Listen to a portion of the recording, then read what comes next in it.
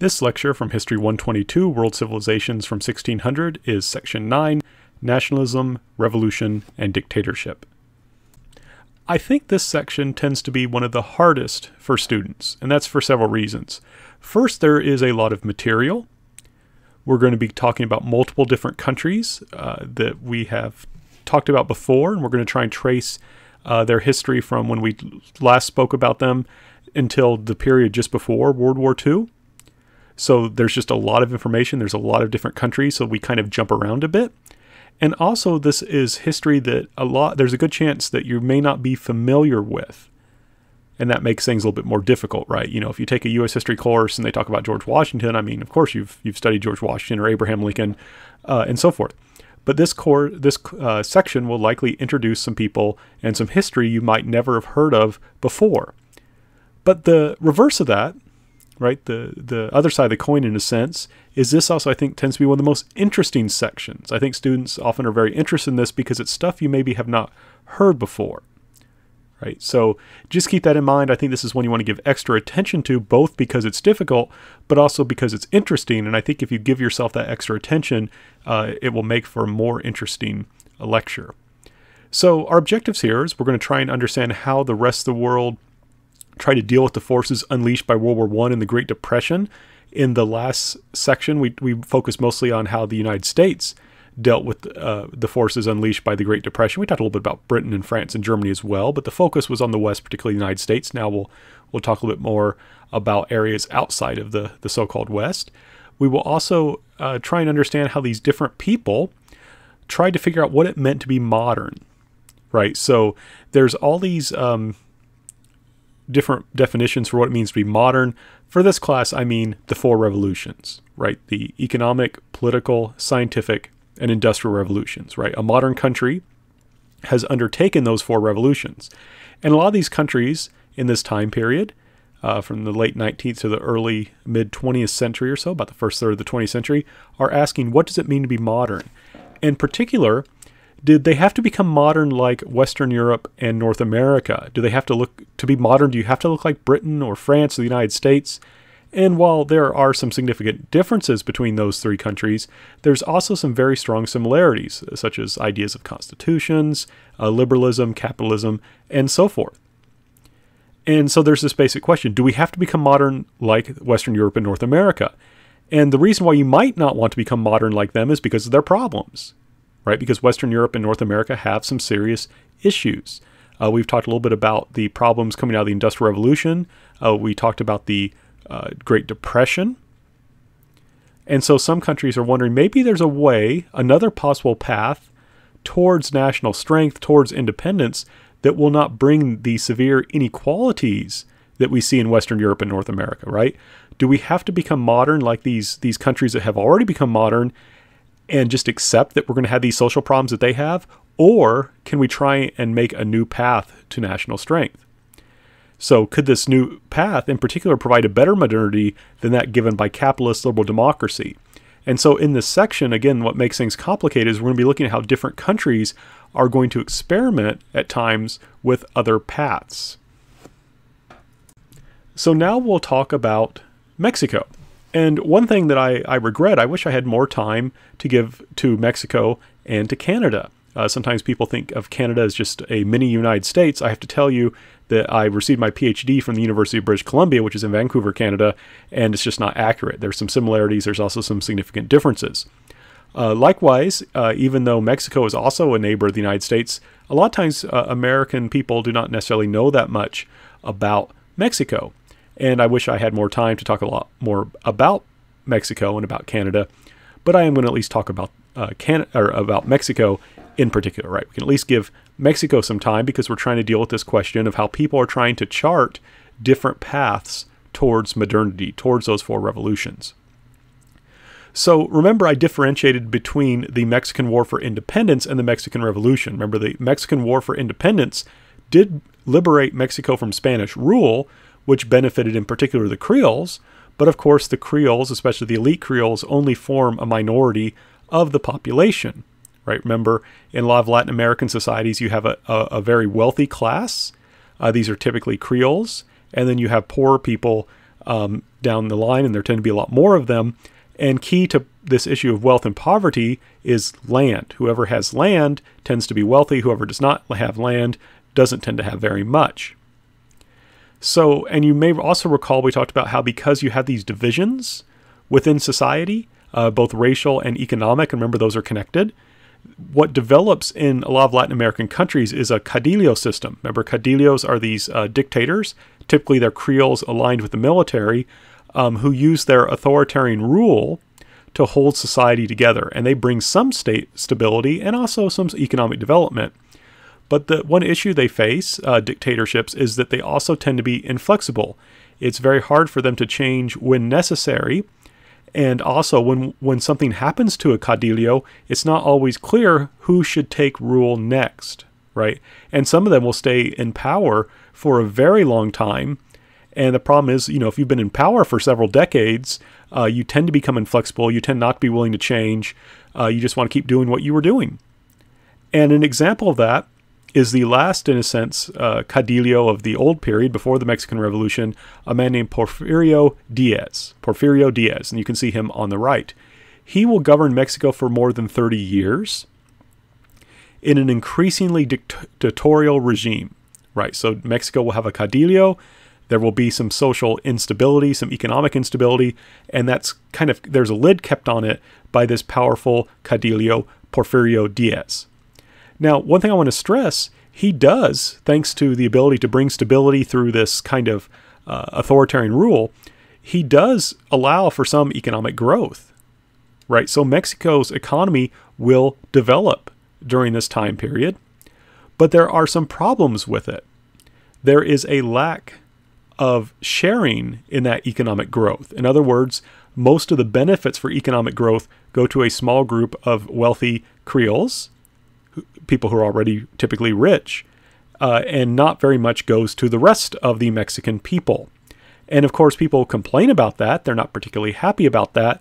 But Diaz will use his uh, power, his authority as a caudillo, in order to keep control of things. So basically, he will increasingly restrict freedom because people are complaining that the economic divisions are growing larger and that the shared, the increasing prosperity of Mexico is not being shared.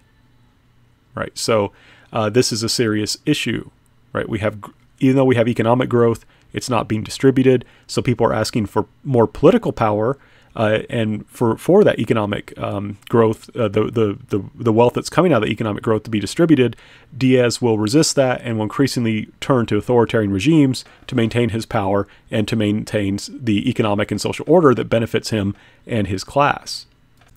There were people among the Creoles uh, who resisted uh, Porfirio Diaz, people who thought that he was wrong uh, and that Mexico needed to become a true democracy. And one of those was a man named Francisco Madero. And Francisco Madero uh, was a true liberal Democrat. I don't mean a member, a member of the Democratic Party. I mean he believed in things like a constitution, like the rule of law. He was generally more towards uh, a capitalist perspective on things. But he was someone who wanted to make Mexico into a liberal democracy. Now, it's a it's a very long story and it's a very fascinating story, but just for time, I, I can't really talk about it here.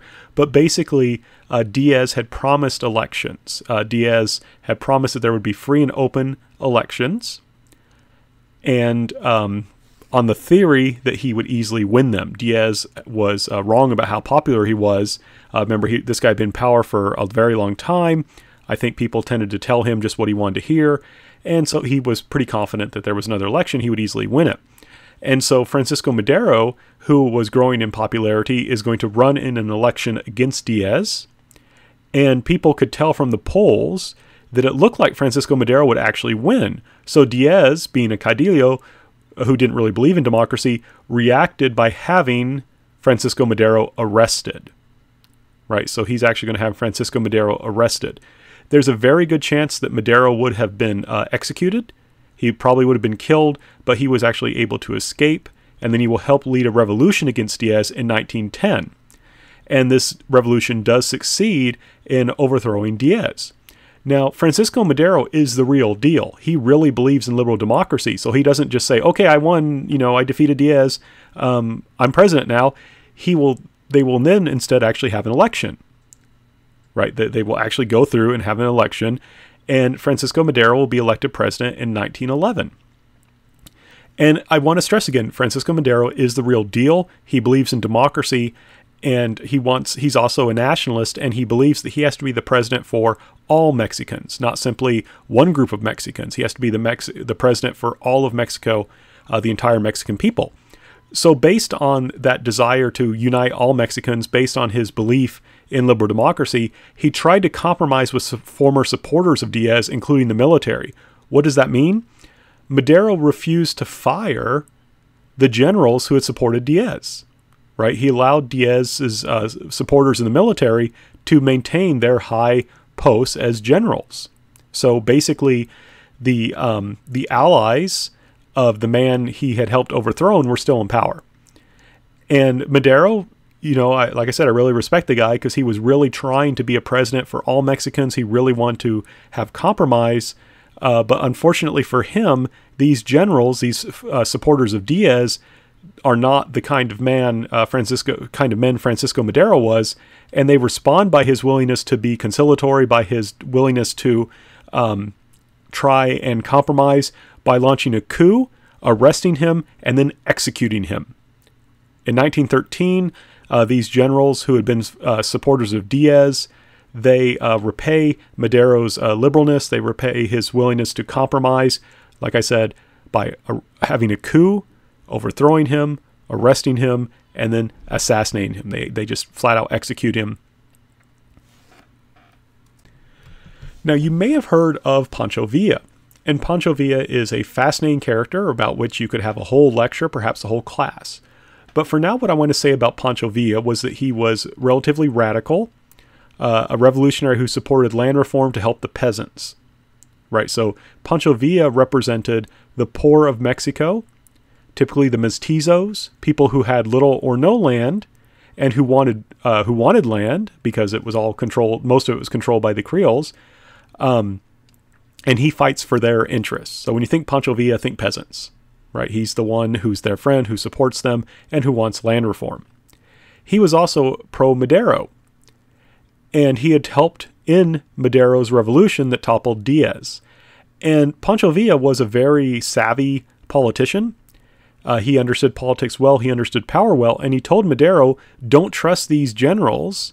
Don't trust these guys who used to support Diaz. They hate you. They will take power if they can. And unfortunately, Pancho Villa was correct. Right? Pancho Villa was correct. Now, once this happens, once Madero is assassinated, Pancho Villa and other Mexicans will rise up in rebellion. And this will continue then the Mexican Revolution. It could have stopped right there in 1911 with the election of um, Madero, but it's actually going to continue now. There's going to be more fighting because no, uh, these Mexicans who had overthrown Diaz uh, don't want another Diaz, right? They want something else. Uh, and what's tricky is that lots of Mexicans want lots of different things. But like I said, Pancho Villa, he's the one who's thinking mostly of the peasants. So the revolution fighting will break out again. Uh, and Pancho Villa is a complex guy because he, in many ways, he is a Robin Hood figure who is going to uh, make sure that to take care of the poor, to look to the interests of the poor, while also fighting against dictatorship. But he could also be extraordinarily brutal. He could uh, he killed a lot of people, including people who had surrendered at times. What's really fascinating too about him is he was an expert at using the increasing popular culture. For instance, uh, by this time, movies were fairly widespread. Like you could go to a movie theater and watch a movie. It's probably not going to have sound, but you could go there and watch one, and these were very popular. And so Pancho Villa actually made a deal with an American film company to like film him fighting. And uh, they made a movie about this guy. And unfortunately, the movie, except I think for a few excerpts, has been lost. And they even gave him a uniform they want him to wear uh, during uh, when he was fighting in order to, uh, to, to kind of look more dashing and to increase sales. And this was really brilliant by Pancho Villa because A, it familiarized Americans with him and presented him in a heroic light as someone fighting for liberty and freedom against dictatorship. So that led a lot of Americans to support him. And that was important because then Americans were able to sell guns to him. And if you want to have a revolution, having guns is pretty good. And so the United States was able to become a supplier of weapons and ammunition to Villa in this early period. In addition, uh, Pancho Villa was very savvy and made sure that he got a, a cut of all the ticket sales. So he made a lot of money off this, which he could use to buy the guns. So I want to, to my key to talking about Pancho Villa here, what I want to stress in particular is that the Mexican Revolution is many different things. There's many Mexicans who are rising up for very different things. So Pancho Villa, for example, is a revolutionary who's fighting to help the peasants. His his primary concern is is rural, countryside, land reform, interests of the peasants. Now, the Rev- and one thing that's tricky about the Mexican Revolution, it's hard to find a year to stop it. 1920 is kind of considered a, a normal year to stop it. Um, but we're going to kind of keep going here in this time period. Um, but eventually, what happens is a new government is set up in 1917. Right? They eventually do get rid of the generals and they set up a new revolutionary government. So, in a sense, by 1917, it would seem that Pancho Villa and the other revolutionaries have triumphed right? The people who were against Diaz's generals, the guys who seized power. It looks like in 1917 the revolutionaries are triumphant. However, they all want different things. So this new government that's set up is not interested in radical land reform, what Pancho Villa was, was fighting for. It wants radical modernization focused on the middle and upper classes, and that typically means focusing on the cities right? So they want to undertake radical modernizing reform, like I said, focused on the middle and upper classes rather than on the poor. So there is in this Mexican Revolution a lot of division over what Mexico should be like, where the priorities should be, right? Villa represents the agricultural priorities. This new group, um, or the group, I'm sorry, that takes control of the new government, they want this radical modernization focused on the middle and upper classes, and that's in part why Pancho Villa will eventually be assassinated. Uh, by government supporters. And so now you have this new government in power that is not interested so much in the interests of the peasants, but focusing on the middle and upper classes and on mo- radical modernization. And one question they had was, what do we do about religion? Uh, and by religion, of course, we mean Catholicism. Something like 95% of Mexicans were Catholic, and it's still something like 90%. So Mexico is very much a very deeply Catholic country. So there's this question uh, what do you do about religion, especially when it was connected to the old order? Right, typically the Catholic Church in Mexico was a force that was against revolution in some important ways, at least officially. It's complex because you you did have people like Padre Hidalgo who were Catholic priests rising up and leading revolutions, and he wasn't the only Catholic priest to lead a revolution. But at least in terms of how it worked as an institution, the Catholic Church in Mexico traditionally was connected to the old order, to the caudillos, and so forth, because the Catholic Church was primarily interested in maintaining stability. In addition, and of course that was the old order that the uh, this new government was wanting to distance itself from, and it saw this new order as a problem, and Catholic, the Catholic Church was connected to that that old order. In addition, Catholicism to these reformers seems superstitious. Uh, this was a time period in which it was often emphasized by uh, radicals, uh, political ra- radicals in particular, that religion was superstitious and was an enemy to modernization. So that in order for uh, a country to become modernized, they needed to become scientific, which meant getting rid of religion, which was inherently superstitious. So it's interesting. You have this country that is is very highly Catholic, that has a government that has come to power which ends up being very anti-Catholic, and you can see this in this uh, what's called in the 1917 Constitution. Usually, I don't want you to remember years, but this is actually called by historians the 1917 Constitution, so you do need to know that year. And in this Constitution, this does nu- numerous things. Uh, one thing it does is it forbids public worship, and that might be if especially if you if you if you're not from a religious background or if you're from a Protestant Christian background, uh, Catholics have a uh, tradition of worshiping outside the church. For example, uh, they would have processions, which are just like basically religious uh, parades, and these could be quite long, uh, large uh, festivals. It could go on for quite some time. that is now made illegal. priests and nuns, of course, wear special clothing the 1917 Constitution barred them from wearing religious clothing outside of churches. So you could dress like a priest or a nun if you were in a church, but if you were outside a church, you could not. Uh, churches cannot own anything other than the church building in terms of property. So you could not, for example, have a religious school, right? A church could not own a school building And if you attend church and you you know that you, your church may have like a uh, a church like that you actually worship in, and then you may have a separate hall where like you have meetings and things like that, that would be illegal according to this constitution. And certainly they didn't want um, religious schools. And this constitution eventually barred them. They didn't want people learning so called superstitions. In addition, if you were a uh, member of the clergy, if you were a priest, you could not vote or even comment on political affairs. So this is kind of a striking constitution, right? If if you're coming from the, an American perspective, right, our constitution emphasizes freedom of religion, but this constitution is focusing on controlling religion, particularly Catholicism, and limiting its influence.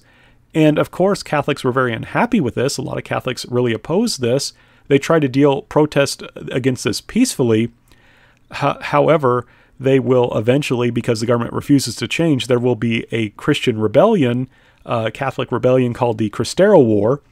Um, Cristero is means that means like a follower of Christ. Cristero would mean follower of Christ, and so these are, and this is an image here of Cristero rebels. They will rise up in rebellion against the government, and they're famous for their battle cry of "Viva Cristo Rey," which is uh, "Hurrah for Christ the King." But they will rise up in rebellion. Now, their rebellion, however, will in the end be crushed by this new government. So the Cristeros will be put down. And to give you an idea of how serious this was, this is a Mexican priest by the name of Miguel Pro.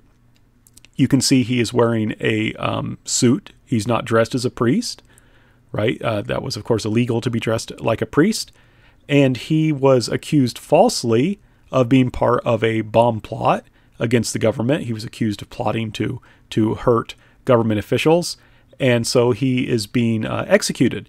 And what's shocking is the government actually like took pictures of his execution. So there he is on the left praying before his execution.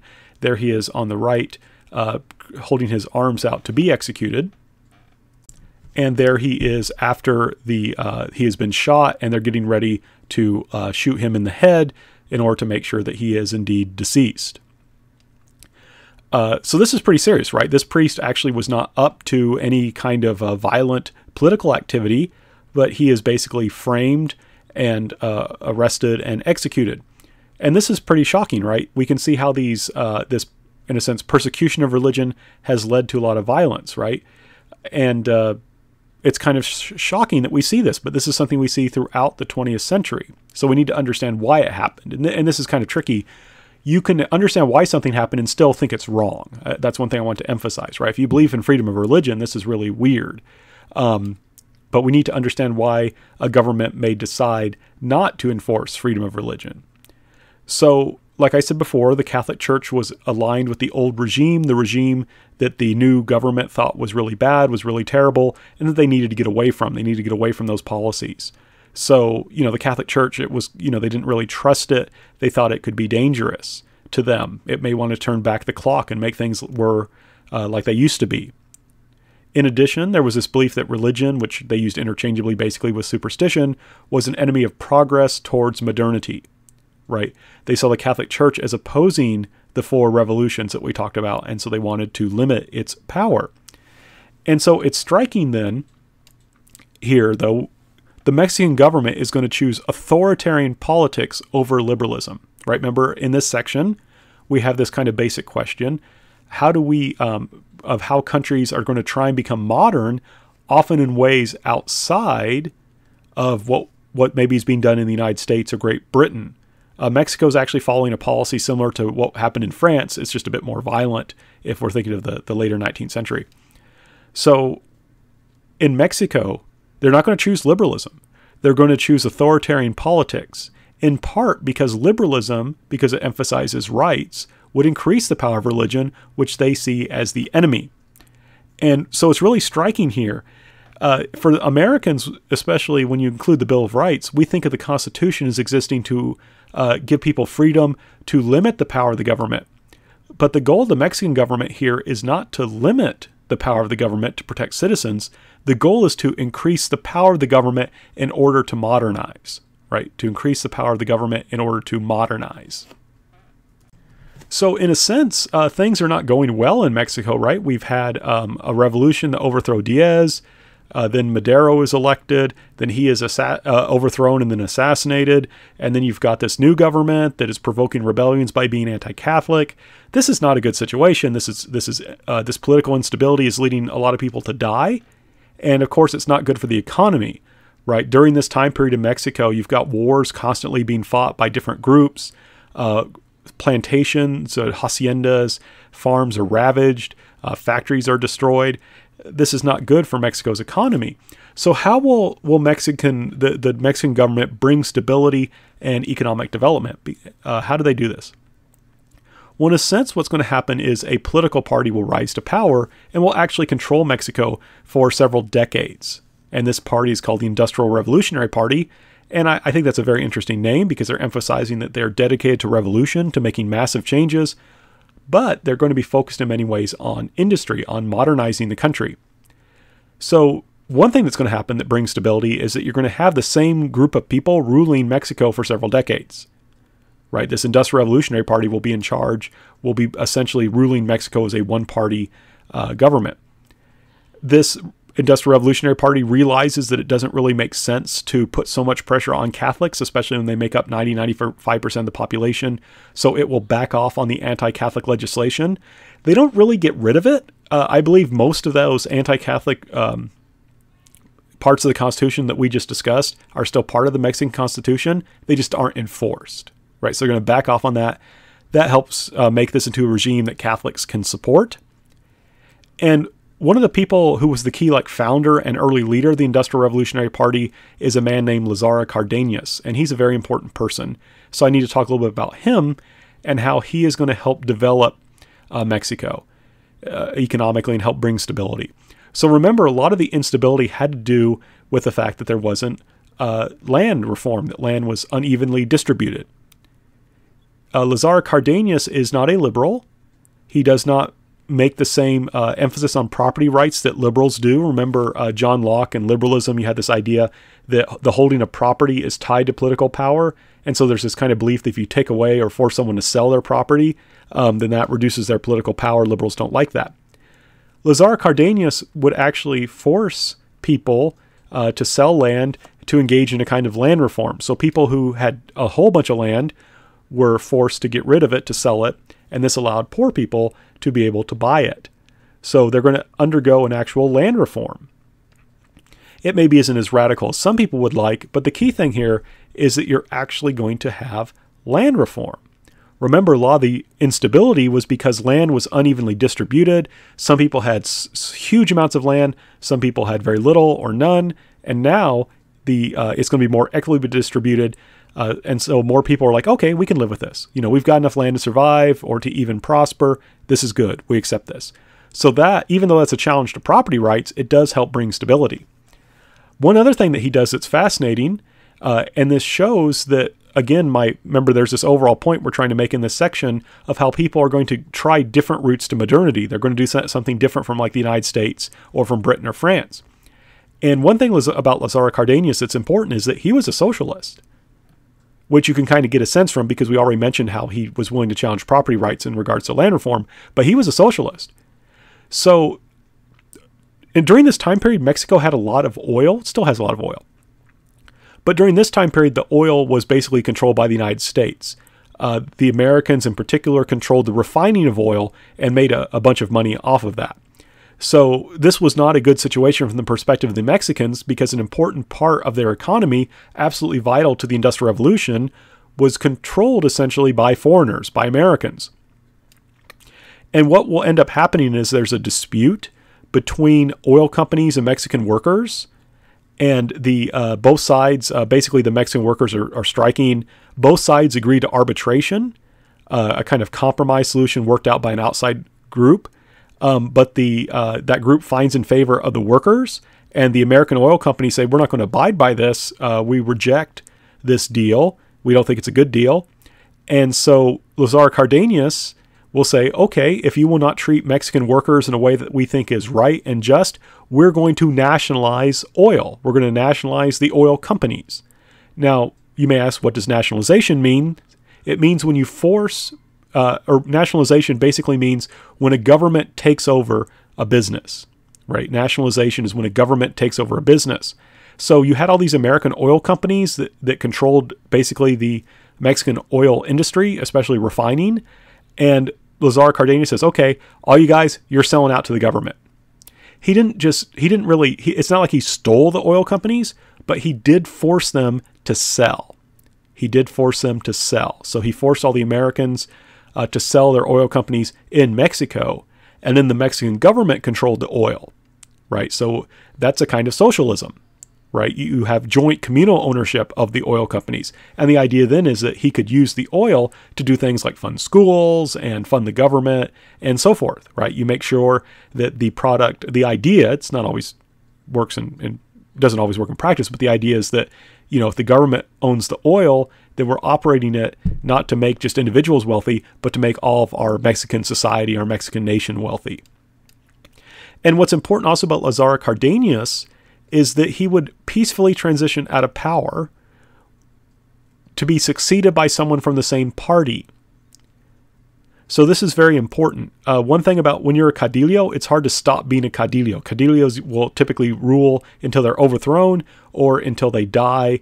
Uh, they basically just want to stay in power forever, and that's kind of a problem uh, because sometimes you have a guy that doesn't know what they're doing in charge, or they get they get senile, or they get sick, and or, or something. So what happens is he will transition out of power with a successor from the same party. That gives stability. It gives you the stability of the caudillos because you still have the same group of people in power who are following, who have the basic same kind of ideas. But at the same time, you have a kind of flexibility because if you have a, a guy who's just doing a terrible job, you can remove him peacefully through elections within the party and then have someone else who's more competent take over. So, what in a sense that the Institutional Revolutionary Party does is it gives the best of both worlds, right? It gives you uh, a kind of stability that the Caudillos gave, while also get, making a way to peacefully transition out of power, as you would see in a democracy. Now, Mexico, during this time period, we can't say it's a true democracy. The um, Institutional Revolutionary Party will use coercion uh, to make it so that other political parties can't uh, really form and, and su- successfully challenge it for several decades. However, during this time period, most Mexicans are just fine with that. Right, the limited freedom and the economic development that they will enjoy under the stability brought by the uh, Institutional Revolutionary Party people like Lázaro Cárdenas will bring uh, economic uh, development and stability. Right, so there's just enough freedom and just enough economic development that people are happy they won't rebel against the government, they will accept the government rule, and so you'll have stability, which of course encourages economic development. It's kind of complex because economic development helps bring stability, while stability helps bring economic development. They, they have that kind of relationship. And just to give you a statistic, between 1940 and 1970, the uh, per capita GDP tripled. So Mexicans are becoming wealthier under this system. So this works pretty well. Uh, again, this is not, uh, this certainly isn't communism. It's, but it's not American style liberalism, right? Mexicans are charting their own path towards modernity that makes sense based on the historical context that they are in, right? They're kind of developing their own model, their own way forward.